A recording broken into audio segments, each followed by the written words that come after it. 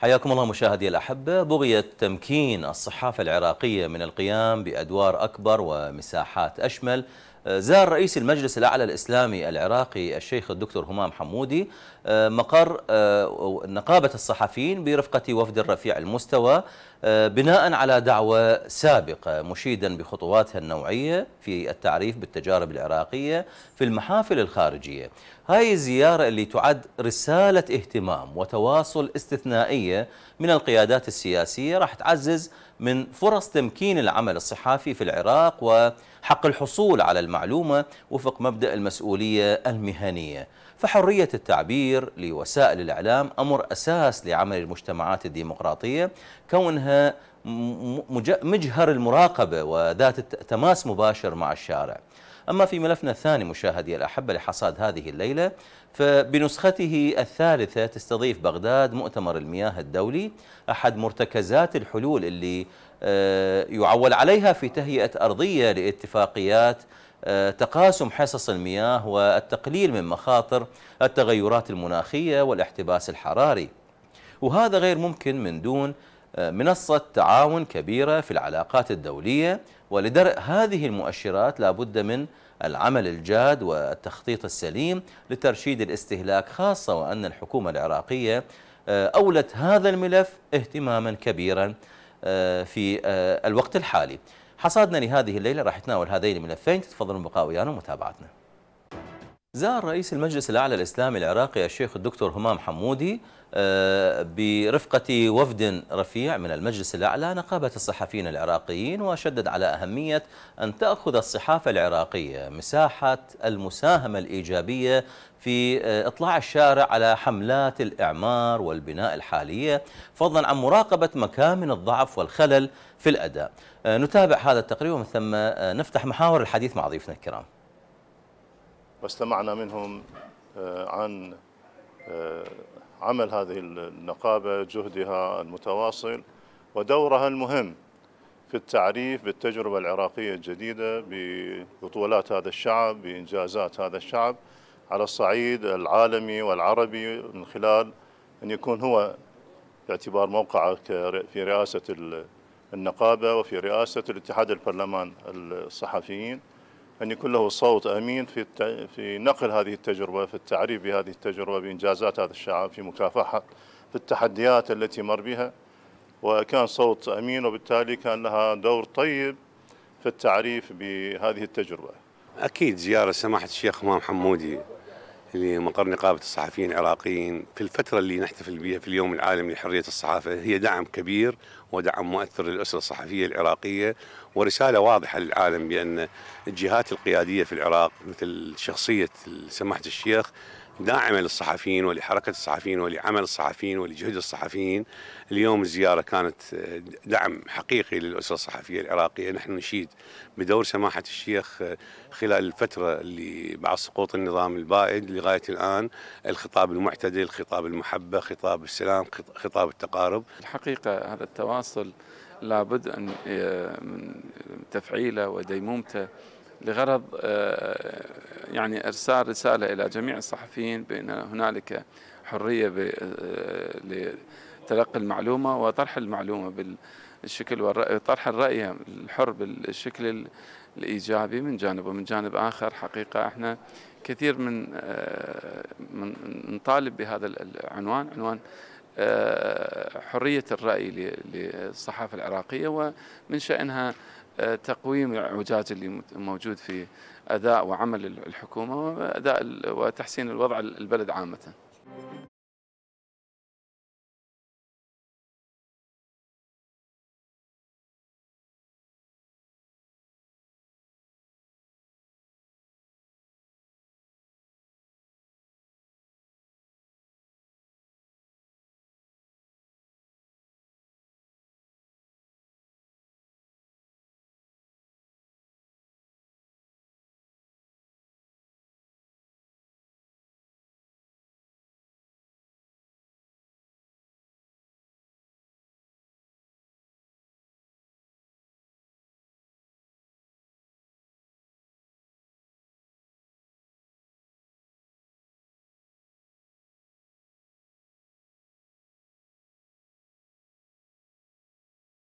حياكم الله وارحب بضيفي الكريمين الدكتور علي الدفاعي المتحدث الرسمي باسم المجلس الاعلى الإسلامي العراقي. حياك الله دكتور ضيفا كريما أهلا ومرحبا بحضرتك.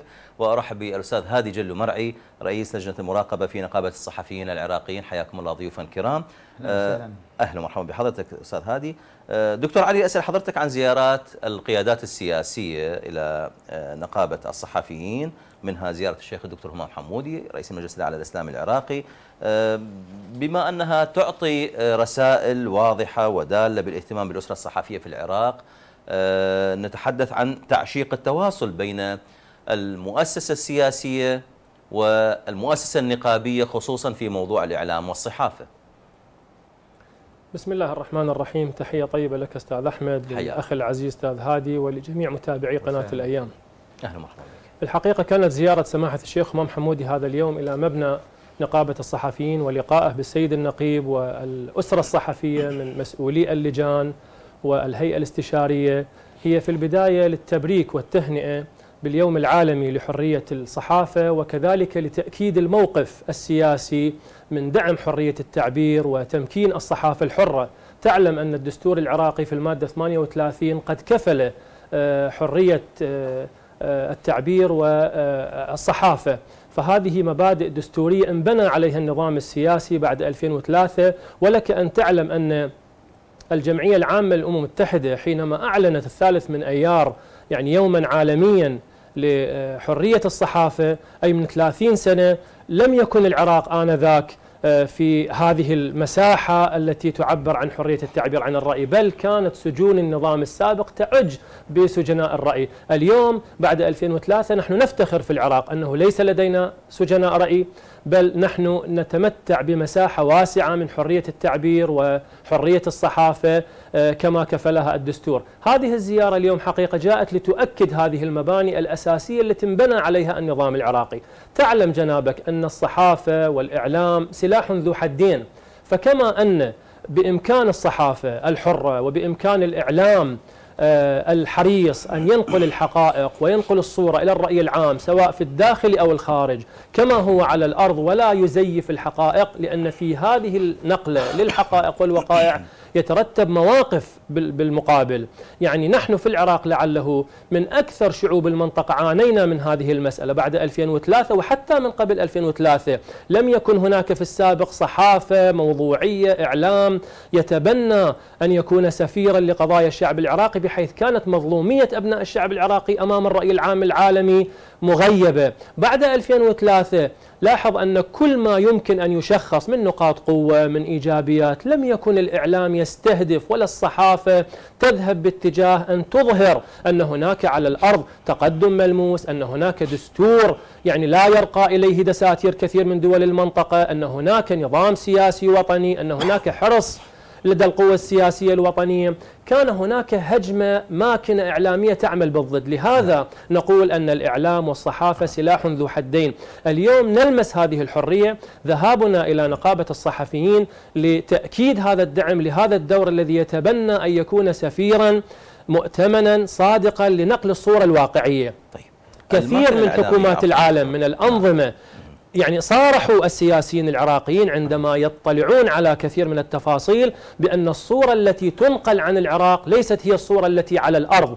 وقريبا في الأمس القريب بطولة خليج 25 كيف كان العرب مدهوشين من أن العراق بهذا الوضع الآمن بهذه الأريحية التي يعيش أبناء الشعب العراقي فيه بهذه الخدمات المتيسرة بقدر يعني جيد في هذا المكان بحيث دول قريبة ذات إمكانيات ورفاهية واستقرار يعني بدأت تحسدنا على ما عندنا من بعض الخدمات وبعض التوجهات. وهذه مشكلة بنيوية في الصحافة والإعلام العراقي بأنها آه، يعني بخلاف البلدان المجاورة بأنه هنالك إعلام موجه لتحسين الصورة النمطية لهذا البلد أو ذاك ولكن للأسف في العراق آه، الإعلام الموجه يأتي بالضد من هذه المفاهيم ولكن آه، وصلت الصورة في أي آه، إناء أتت وأكو هنالك بث لهذه الإيجابية اللي يعيش بها الشعب العراقي. أستاذ هادي نقابة الصحفيين برئيسها الحالي السيد اللامي وفقا لما تفضل به السيد الدفاعي آه، تحتل موقع متميز داخل الأسرة الصحفية والإعلامية ليس على المستوى المحلي فقط بل على المستوى العربي. بالتالي هذا ما يعني نافذة أكبر في إيصال وجهة نظر العراق اللي هسه نتحدث عنها بهذه الرسالة الاتصالية للخارج. نعم شكرا جزيلا أستاذ أحمد وتحيه للدكتور علي الدفاعي وللجمهور الكريم. اليوم الشيخ الهمام حمودي رئيس المجلس الإسلامي الأعلى زار نقابة الصحفيين العراقيين مع وفد رفيع والتقى نقيب الصحفيين رئيس اتحاد الصحفيين العرب السيد مؤيد اللامي ومجلس نقابة الصحفيين العراقيين. وكانت هنالك تغطية إعلامية استمع السيد والشيخ آه، آه، همام حمودي رئيس المجلس الإسلامي الأعلى إلى شرح مفصل قدمه السيد النقيب عن دور النقابة والإنجازات آه، التي تحققت خلال المراحل الماضية وطبيعة التواصل الإعلامي ودور النقابة في نشر السلم الأهلي ومبادئ التسامح والتواصل والدفاع عن حرية التعبير وحق الوصول إلى المعلومة وكذلك العلاقات الخارجية ومحاولة رسم صورة مشرقة للعراق آه، آه، في الخارج وجذب العرب ليكونوا جزء من المعادلة وجذب أيضا الأجانب من دول مختلفة من العالم خاصة وأن العراق سيشهد يوم 15 و16 و17 حزيران الشهر السادس المقبل آه، أكبر تجمع دولي في العراق برعاية رئيس الحكومة السيد محمد الشياع السوداني. تقيمه نقابة الصحفيين العراقيين الذي سيحتضن في بغداد آه، المؤتمر الهيئة العامة لاتحاد الصحفيين العرب وبحضور شخصيات آه، من من كل الدول العربية ورؤساء الاتحادات والنقابات العربية ووفود رفيعة المستوى من كل وسائل الإعلام العربية وكذلك الأجنبية. ومن أوروبا ومختلف أنحاء العالم وممثلين عن الاتحاد الدولي للصحافة نعم. وستكون هنالك آه، نشاطات مكثفة في حديقة الزوراء حيث ستقدم كل محافظة عراقية شيئا عن تراثها وعن فنها وعن حضورها وعن تأثيرها وسيكون هنالك احتفالات في قرية دجلة واحتفالات في آه، آه، قصر الأعظمية واحتفالات في نقابة الصحفيين العراقيين واحتفالات في فندق الرشيد وتكريم آه، عوائل شهداء الصحافة العراقية بمبالغ مالية وكذلك تكريم الصحفيين الرواد والمبدعين ودعوة كل الصحفيين العراقيين من كل أنحاء العراق للحضور والمشاركة في هذه هذه الاحتفالية الكبرى لإحياء ذكرى تأسيس أول صحيفة عراقية عام 1869 وكذلك تأكيد دور العراق وحضوره في لدى لدى العرب ولدى الأجانب وكذلك نشر صورة آه، أخرى آه، مغايرة للعراق غير الصورة التقليدية وأن البهجة بدأت تنتشر في العراق وأن الأضواء بدأت تنير العراق وأن العراقيين عادوا فعلا إلى الواجهة وأنهم قادرون على أن يكونوا جزءا من آه، المجتمع الدولي. وبرغم وجود المشاكل الاقتصادية والسياسية وهي نتيجة مشاكل مر فيها العراق بعد التغيير ونتيجه إشكالات سياسية وأمنية واقتصادية وتدخلات خارجية ووجود قوات أجنبية محتلة كانت لها ربما آثار سلبية على الحالة العراقية ولكن العراق بدأ يعود بدأ ينهض لديه أموال ولديه آه، مواطنين آه، أذكياء ولديه عباقرة ولديه كفاءات ولديه من من يرغب بالعمل. وبرغم وجود بعض ربما الارهاصات بعض المشاكل بعض الخلافات السياسية وجهات نظر مختلفة متعدده يمكن أن تحال يمكن أن تأخذ مداها في وسائل التواصل الاجتماعي في القنوات الفضائية في الندوات في المؤتمرات ولكن عموما العراق يعود.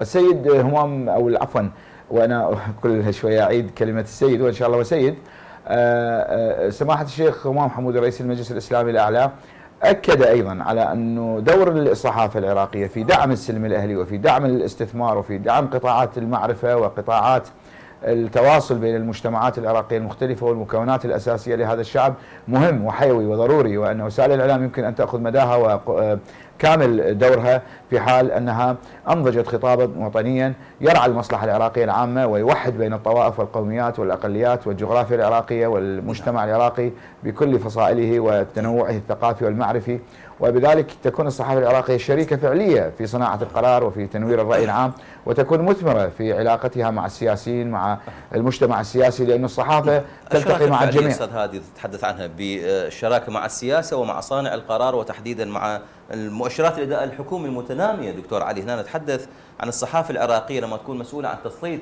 هكذا أضواء على مساحات المنجزات. هل هذا الموضوع راح يعيد ثقة المواطن بالنظام السياسي ومن ثم آه، نلاحظ أنه مجسات الاستقرار بدت واضحة عندما أخذت الصحافة دورها. نعم وهذا ما أردت أن أشير إليه بأن للصحافة وللإعلام دور مهم في نقل الأرقام والوقائع لكي بالنتيجة تؤثر على مواقف وتصرفات سواء سواء كان أبناء الشعب العراقي أو مواقف من الدول الإقليمية والدولية، نعم الصحافة عندما تكون يعني مرآة عاكسة للواقع وتنقل الصورة بحيث لا يعني تذهب بالحقائق ولا تزيفها، سيترتب على ذلك نعم مواقف من خلال يعني آه، تبني حالة اعتماد هذا النظام السياسي وأنه نظام خادم لأبناء الشعب العراقي سيكون هناك نوع من الثقة المتبادلة. أنا يعني أحيلك إلى بعض الظواهر التي يعني آه، عاشها الشعب العراقي. وقد أشار إلى بعضها سماحة الشيخ أمام حمودي في المؤتمر الصحفي على سبيل المثال زيارة الأربعين المليونية. لاحظ كيف أن 20 مليون إنسان يقوم أبناء الشعب العراقي بخدمتهم بهذه الطريقة الكبيرة. حقيقة هنا نشخص أن الإعلام لم يكن بالمسؤول المسؤولية التي تنسجم مع هذه الظاهرة المليونية إلا أن الشعب العراقي بحضوره بتفانيه بكرمه قد فرض وجذب حتى الإعلام العالمي لكي ينقل هذه الصورة الواقعية. كذلك حالة كما أشرت خليجي 25 هذا كله يدفعنا إلى أهمية وخطورة الإعلام. من هذا نذهب إلى المنجزات التي آه، أصبحت ملموسة اليوم. يعني نحن من 2003 إلى 2023 نعم لا يشك أحد بأن هناك حالة من التأخر في تقديم الإنجازات، هناك نقاط ضعف، هناك بعض الخلل أصاب في الجسد الهيكل الإداري للدولة، ولكن إلى جنب ذلك هناك إنجازات، هناك على الأرض يعني من الممكن أن يشاهدها المواطن، آه، قدمت الحكومة، قدم النظام السياسي الجديد هذه المساحة من الحرية اولا، فضلا عن آه، أرضية سواء كان قانونية، دستورية، إدارية تؤهل أن يكون العراق في تقدم في هذه المسألة، نعم. كل هذه الأمور حقيقة. الحقيقة إذا لم يكن للصحافة والإعلام دور في أن تنقل الحقائق كما هي هي ستكون يعني في معزل عن الواقع عن أبناء الشعب العراقي بل ستكون يعني ناقل لرساله سلبيه وسيئة في هذه المسألة، لذلك هنا يعني يأتي الدور السياسي من خلال هذه الزيارة لسماحة الشيخ همام حمودي وهو من صناع القرار في هذا النظام السياسي الجديد لكي يعضد ويؤكد أن العراق القائم على الدستور وعلى القانون يحمي هذه الصحافة الحرة ويسعى إلى تمكينها. وهذا التمكين حقيقة منه جانب تشريعي من خلال سن قوانين تحمي الصحافة وتحمي الصحفيين وخصوصا الشهداء منهم وعوائل الشهداء وتمكينهم. ونحن استمعنا إلى السيد النقيب أن هناك رعاية لهذه المسألة فيما يخص الجرحى الصحفيين إذا ما كانوا بنسبة 30% فلهم قطعة أرض نعم. إذا ما كانت النسبة أكبر فلهم كذلك راتب شهري. آه، فضلا عن دعوتنا في المجلس الأعلى إلى تمكينهم بقضية تطوير أدائهم في عملهم الصحفي والإعلامي. طيب. بالإضافة إلى كل ذلك أستاذ هادي وحضرتك أيضا معروف بعدم المجاملة. نتحدث عن آه، لما يكون هنالك آه، تغافل عن مراقبة الأداء الحكومي مثلا أو استخدام الصحافة للتسقيط السياسي والتسقيط الوظيفي بأن ننتقد لكن مقابل هذا النقد هو صفقات فساد. لما تأخذ الصحافة دورها في آه، إيلاء البرنامج الحكومي إسناد الحكومة وإسناد الدولة بشكل فاعل فهذا لا يعني بطبيعة الحال التغافل عن الثغرات والأخطاء لكن بجانب إصلاحي وتكبير أو وضع آه، بقعة ضوء على هذه هذه المؤشرات حتى نستطيع معالجتها بسهولة. طبيعة التشكيل السياسي بعد عام 2003 والتنوع في الانتماءات السياسية القومية العرقية الطائفية وجود تنظيمات إرهابية مسلحة مشاكل أثرت الحالة العراقية وأثرت في مسار الأحداث وفي الأداء الحكومي في أداء السلطة التشريعية السلطة التنفيذية.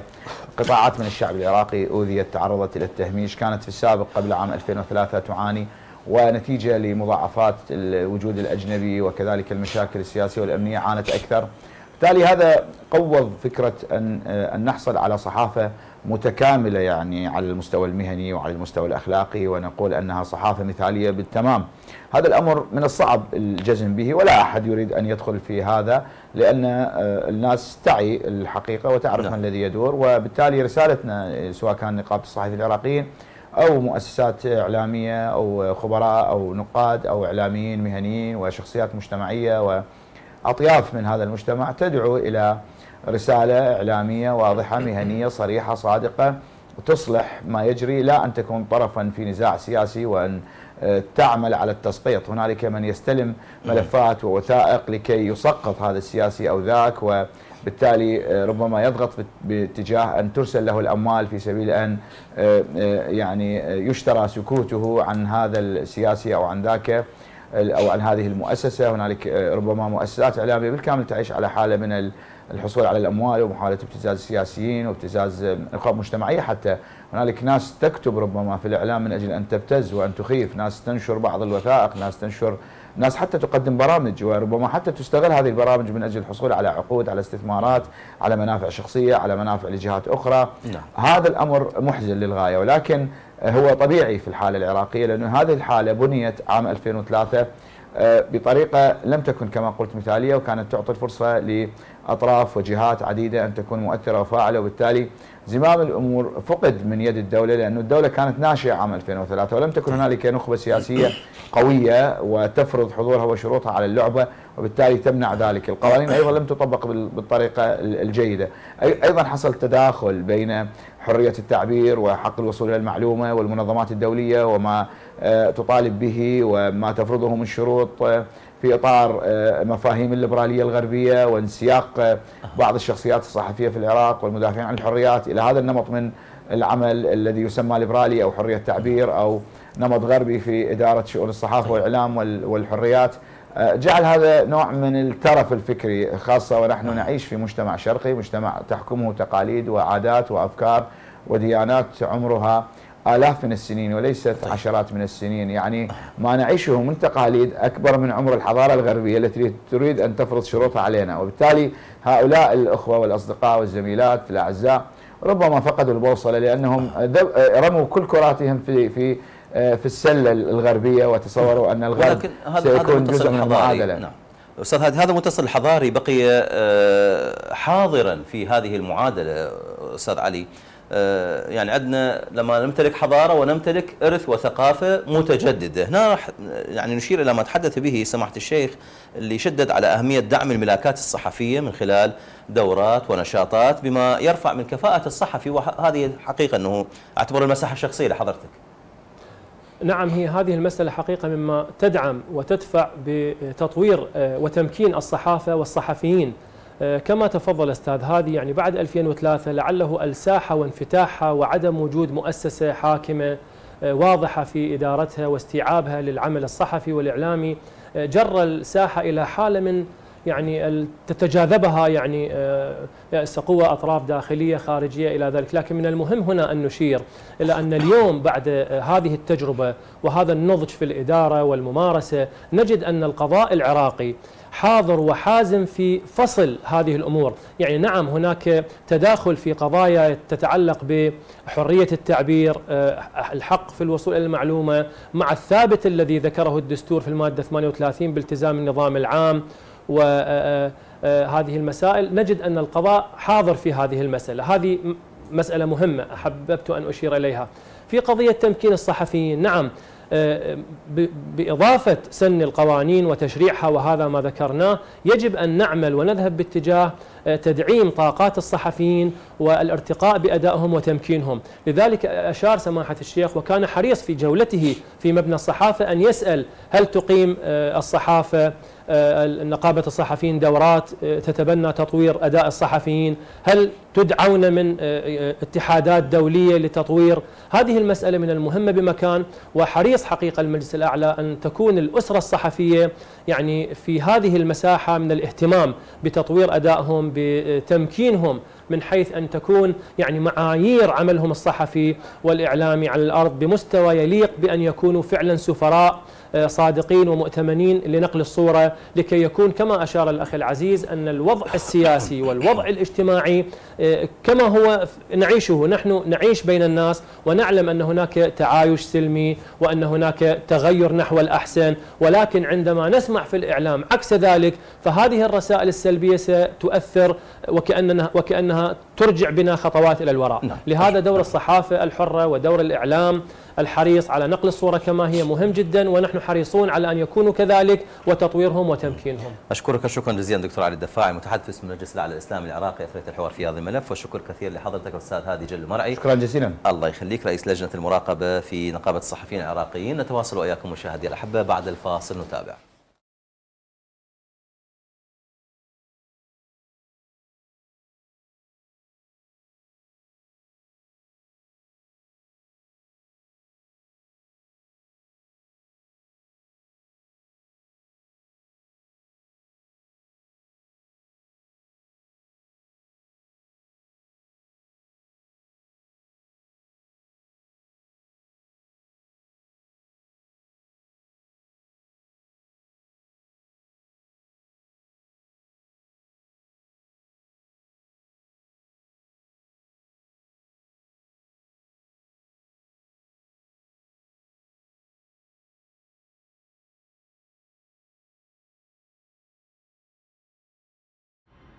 حياكم الله مجددا مشاهدي الأحبة. آه، أرحب بضيفي الكريم الأستاذ تحسين الموسوي الخبير الزراعي والمائي.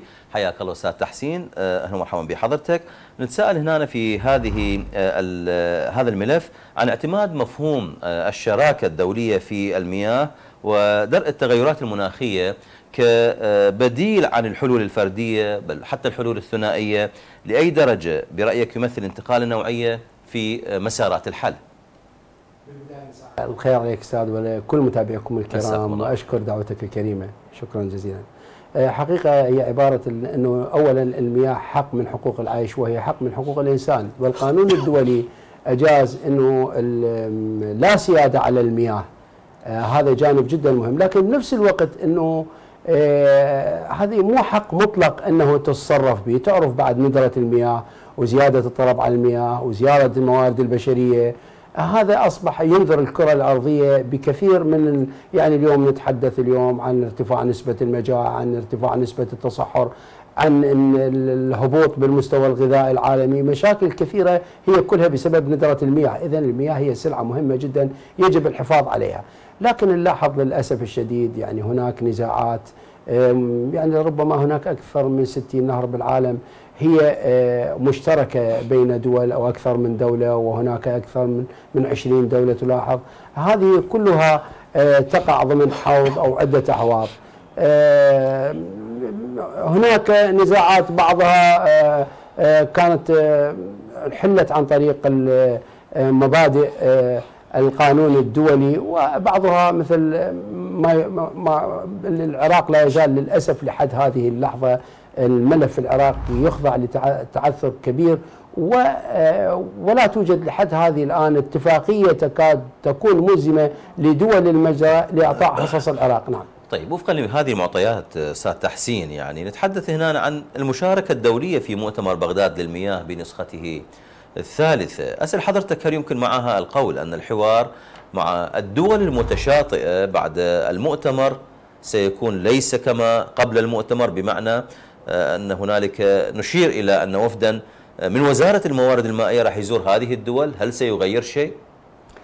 حقيقة يعني ملف المياه العراق وصل يعني مراحل حرجة جدا وللأسف الواقع بدأ يترك أثر سلبي جدا كبير. يعني إحنا قطعنا شوط كبير من المفاوضات وأيضا من عملية حسن الجوار وكذلك أيضا هناك ملفات كثيرة كان العراق مبادر بها خاصة تتذكر زيارة السيد رئيس وزراء الأخيرة إلى تركيا تكلم عنه أن الملف الأمني العراق لا يسمح الاعتداء على تركيا من أراضيه قصد البككة وبنفس الوقت قال هناك تبادل تجاري يصل إلى 24 مليار وتحدث عن الحقوق التاريخية. يعني هذه كلها رسائل مطمئنة عن حسن الجوار. لكن للأسف الشديد لحد هذه اللحظة لا توجد مبادرة. لاحظ دائما وبالذات الجانب التركي أن حضورها للمؤتمرات هي فقط من باب رفع العتب. هذا المؤتمر الثالث للمياه ولحد الآن تركيا لم تفي بالتزاماتها مع العراق. آه، أنا اليوم نتكلم صحيح أنه مسألة المياه اليوم شحة عالمية صحيح هناك أيضا شحة في دول متشاطئة لكن هناك في وقت الجفاف أن يكون التقاسم للضرر نحن الآن أيضا يعاب على العراق أنه كان يجب أن يذهب إلى لجنة تقصي حقائق لتكون الوقائع آه، مملية ما هي الخزانات الموجودة في دول الجوار كم هو الخزين. نعم. الخزين بالعراق أصبح شبه فارغ.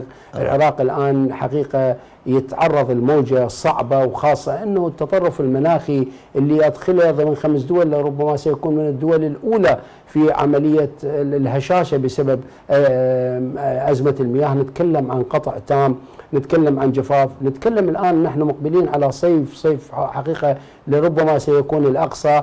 النظم الأيكولوجية الآن فارغة سيزيد من ارتفاع درجة حرارة الأرض سيزيد من عملية التصحر ستزيد عندنا الحشرات والآفات سيكون هناك أمراض الهجرة في تزايد مستمر. آه، نتكلم عن أمور خطرة جدا يعني نتكلم اليوم مسألة الجفاف مسألة خطرة جدا. آه، تداعياتها بدأت تكون سريعة لكن المؤتمر اليوم نحن المؤتمرات بصورة عامة يمكن تحدثت آه، قبل فترة من منبرك قلت هذه يجب نعم. إنه صحيح حتى في بعض الأحيان يتم تفخيم الأمور كون إنه الغاية منها التحذير من القادم يعني وخاصة قلت لك اليوم نتكلم عن مسألة ندرة بالنسبة للمياه وهذا التهديد التهديد ليس بفترة معينة، العراق مهدد لعام 2030 وربما أكثر. بنفس الوقت الحديث أيضا عن العراق آه، آه، باستخدامات الغير صحيحة بالنسبة. لاستخدامات المياه، لحتى اللحظة لا يوجد تطوير فعلا جدي أو نية جدية لهذا الملف، أنا اليوم حتى سمعت كلمة السيد وزير الموارد المائية.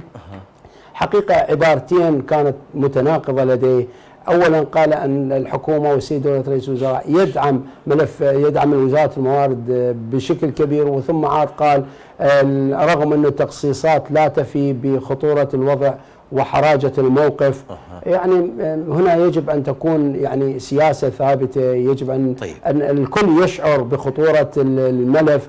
آه، لربما حتى إذا نظرنا هذه هذا من بعد آه، محلي. ولكن آه، كيف ننظر إلى هذه المسألة من بعد دولي؟ خاصة وأن رئيس الوزراء وجه اليوم رسالة في مؤتمر المياه بأن إنقاذ دجلة والفرات يستدعي تدخل دولي.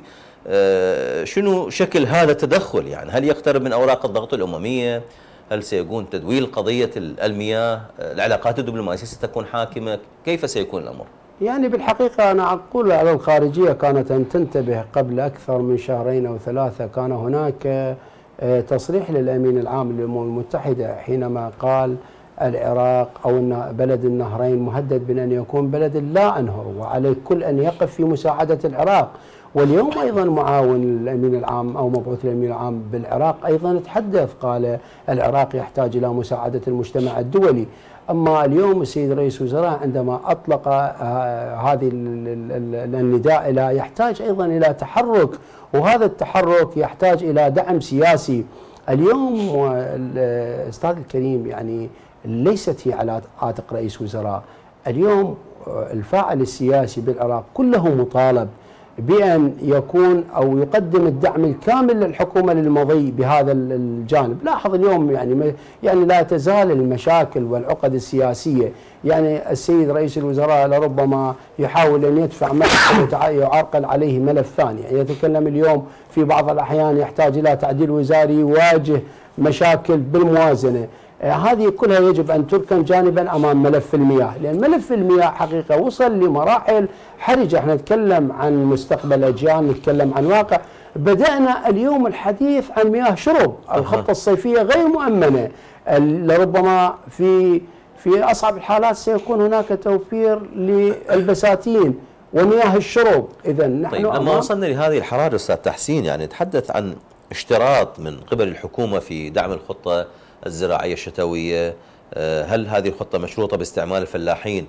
وسائل الري الحديثة هل يمكن تنفيذ هذه الرؤية الجديدة آه، ضمن مسارات آه، الإدارة المائية؟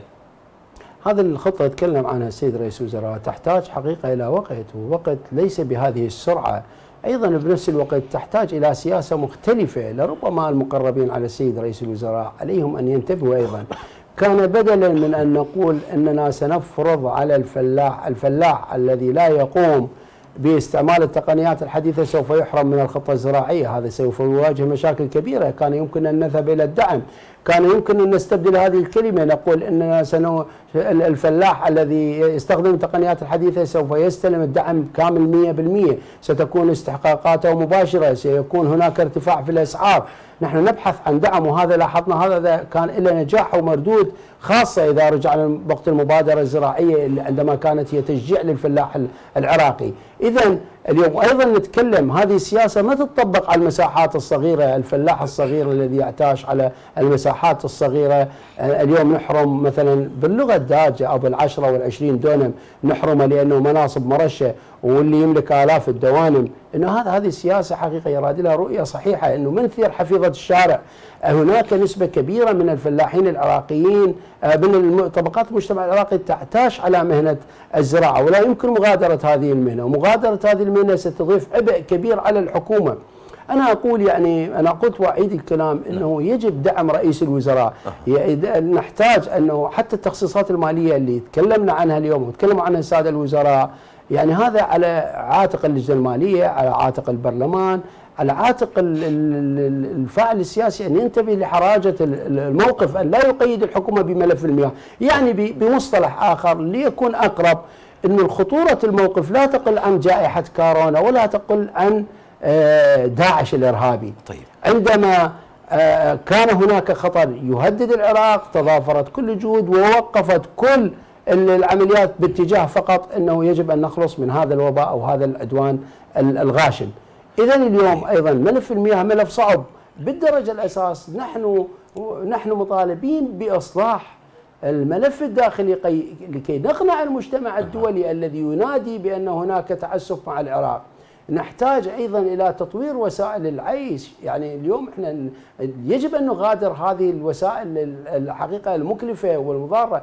يعني إضافة إلى ذلك آه، إنه هذا البطء وفقط آه، آه، طيب. المناشدات وهذه هذه لا تجدي لأنه أنا قلت لك أستاذ الواقع بدأ هسه عندنا مرة مناشدات ومرة هذا بطء ومرة عندنا نمذجه وتماهي مع على الأقل دول مجاورة أستاذ تحسين يعني لو استخدمنا النظم الحديثة في الإدارة المائية واستفادينا من تجارب الدول المتقدمة مرة ومن دول الجوار مرة أخرى لأي درجة راح يرفع عن العراق مؤشرات الجفاف تصدر آه، مستويات التأثير بالتغيرات المناخية. اليوم حديث وزير الموارد وزير الري الإيراني كان حديثه بهذا الجانب. يعني الحديث ده, ده يتكلم على أنه تطوير منظوماتي يعني يجب مغادرة هذه السياسة. طيب ممكن أن ندخل استثمارات ممكن أن ندخل التجارب اللي قامت بالجمهورية الإسلامية. يعني اليوم هذا المؤتمر هو لعرض أبحاث لعرض تجارب لعرض استخدامات اللي تستخدم بدول الجوار بالدول المتشاطئة. لكن هذا هنا مسؤولية الداخل هنا مسؤولية الملف الداخلي. أنا قلت كيف لنا أن نقنع المحكمين الدوليين ونحن نستخدم سياسة خاطئة بالنسبة للمياه؟ بغض النظر عن هذا تطوير وسائل العيش هناك إيرادات داخلية. استخدام الخزين من المياه الجوفية يكون يجب أن يكون بالصورة الصحيحة إعادة تدوير المياه لرفع الملوثات. إعادة مياه الصرف الصحي وتدويرها للاستغلال بالزراعة.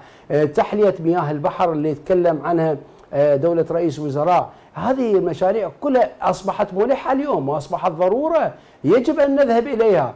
يعني من نتكلم اليوم عندنا ساحل بالبحر موجود. هذا ممكن أن نستخدمه لتحلية مياه البحر. أول شيء لتوفير مياه الشرب وخاصة ذنائب النهر اليوم البصرة تتعرض تتعرض حقيقة لضرر كبير ارتفاع بال بالسرطانات بالأمراض بالأوبئة نسبة الملوحة ارتفعت بالأراضي غادرة الزراعة الصيف اللاهب بارتفاع درجات الحرارة. الأهوار الآن اللي تتعرض كان اليوم نستغلها من المؤتمر الدولي أنه يجب أن مؤتمر بغداد أن ناشد المجتمع الدولي إن النظم الأيكولوجية أو آه، تكلم وزير الموارد المائية إن الاهوار دخلت محمية ضمن التراث العالمي. هذا أيضا البند أعتقد السادس أو أجاز على دول المجرى تأمين حصص النظم الأيكولوجية. لأن هذه المحمية هي ليست خاصة بالعراق. نتكلم هي عن هجرة للطيور للتكاثر الأحيائي نتكلم عن هو آه، عامل إنه آه، عملية احتباس وارتفاع درجات الحرارة. هذا يجب أن اللي نذهب إليه. وما ما يتوقف على لجنة واحدة. اليوم للأسف طيب. ما محددين إحنا أولويات عملنا. الثقل على وزارة الموارد المائية. وأنا لست هنا مبرر لوزارة الموارد المائية. لكن هناك من يتحمل في هذا الملف ملف مشترك يخضع لطاولة لطاولة كاملة يخضع لمسؤوليات كبيرة تبدأ من الوزارات إلى المحافظين إلى المواطن إلى منظمات المجتمع المدني اللي ما لها أي دور إلى اتحادات طيب. النقابات طيب ما فائدة هذا المؤتمر أو هكذا مؤتمرات بصورة عامة يعني مؤتمر دولي هل راح نصل من مخرجاته إلى اتفاقات ملزمة نبتعد عن الحلول الآنية اللي آه، تتمثل بزيادة الإطلاقات المائية مرة ولكن بمرة أخرى تراجع هذه النسب بعد مدة يركض فيها الحراك الدبلوماسي والسياسي ونعود إلى ما من حيث بدأنا. لا بالحقيقة المؤتمرات ما لها علاقة بالاتفاقات وما لها علاقة بالبروتوكولات وخير دليل إلى أنه آه، اليوم من نتكلم على إطلاق حصة 200 آه، متر مكعب على حوض دجلة ولمدة شهر واحد فقط من تركيا اذا نحن اليوم نتكلم أنه لا توجد اتفاقات مفعلة أو آه، هي ضمن لتطبيقها. يعني إحنا آه، هذا الجانب آه، اليوم جانب المؤتمر لا لا يبتعد كله عن رس- إرسال رسالة أو تبادل الأبحاث والخبراء والخبرات. يعني اليوم كل الدول اللي موجودة عرضت أنظمتها عرضت شلون حلت مشاكلها شلون واجهت أزمة المياه كيف طورت الوسائل الاستخدامات. هذا اللي معروض ممكن العراق أن يستثمرها. العراق مدى يستثمر هذا الجانب. يعني اليوم نتكلم المؤتمر الثالث مؤتمر بغداد للمياه الثالث. بدنا نعيد نفس العمل. وإحنا ما قدمنا شيء على أرض الواقع لحد هاللحظة هذه. وهذا أيضا يعود بسبب المشاكل الكثيرة. يعني بدت الآثار نتيجة هذه المشاكل المعقدة والتعقيدات السياسية والتأخير في الحكومات إقرار الحكومات نعم. والحقيقة بدأت الآن آه، تكون متسارعة، اليوم حديث رئيس الوزراء عن مجلس السياسات الأعلى للمياه هو هذا اللي نبحث عنه أها. اللي إنه ما يتعلق ما له علاقة آه، حقيقة بالتغير السياسي بالتغير السياسي، تغيير الحكومات حتى تكون هنالك مسارات واضحة ومهمة. بالضبط، بالضبط. يعني إذا كان هذا الأمر متحقق فلربما تكون مسارات للحل حقيقية. أشكرك لهذه الإثراءات الأستاذ تحسين الموسوي الخبير الزراعي والمائي أثريت الحوار في هذا الملف. آه، شكرا جزيلا لحضرتك مرة أخرى. وشكري موصول لكم مشاهدي الأحبة على حسن المتابعة في أمان الله.